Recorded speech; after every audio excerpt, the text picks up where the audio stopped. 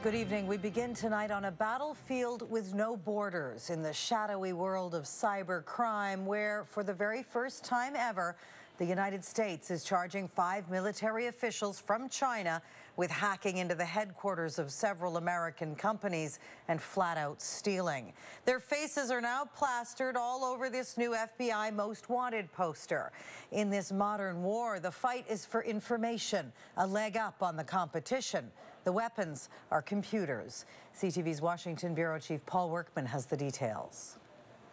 It is highly unusual, unique even, to release photos of the suspects like this, to put the names and faces of Chinese army officers on wanted posters, but this whole case is unique. For the first time, we are exposing the faces and names behind the keyboards in Shanghai used to steal from American businesses.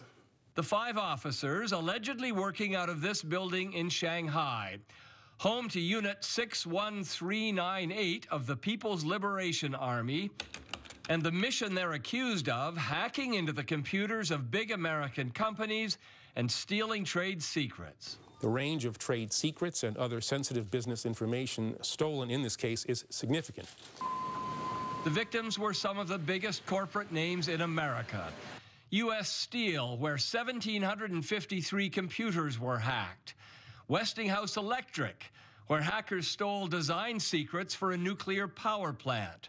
A solar panel company, Solar World, where hackers stole cost and pricing information as the Chinese flooded the market with cheaper imports. I am saying that this cyber hacking leads directly to the loss of jobs here in the United States and to the more serious level of criminal indictment. Not that China will ever turn the suspects over for prosecution. What are the chances that they will show up in the court of law in the United States? There, there are absolutely no chance that they will show up in court. This, this, this, won't go to trial. This, at one level, uh, was a symbolic gesture, but it's a very important symbol. China responded by calling the charges extremely absurd and a pure fabrication as the Americans threaten to make indictments like this a regular event unless the hacking stops, Lisa. Okay, and there's the unknown. All right, Paul, thank you for this tonight. So what does China do now? It's Tuesday morning in Beijing, and Bureau Chief Janis Mackey-Frere joins us. Janis, these charges may be symbolic, as Paul reports, but they're also serious. So how does China fight back? Well, the reaction will be angry. China sees itself as the victim of cyber espionage and cyber theft, not the perpetrator. So there could be some sort of countercharge against the U.S. You'll remember last year, China felt vindicated when Edward Snowden revealed evidence the U.S. had hacked into China's network. So it accuses the U.S. of hypocrisy in that sense.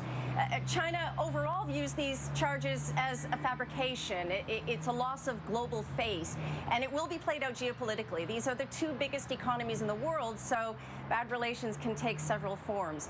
Ironically, Lisa, it comes at a time when Russian President Vladimir Putin uh, is visiting today in what observers see as warmer ties between the two countries, with Russia uh, renewing its pivot east, having angered the rest of the world.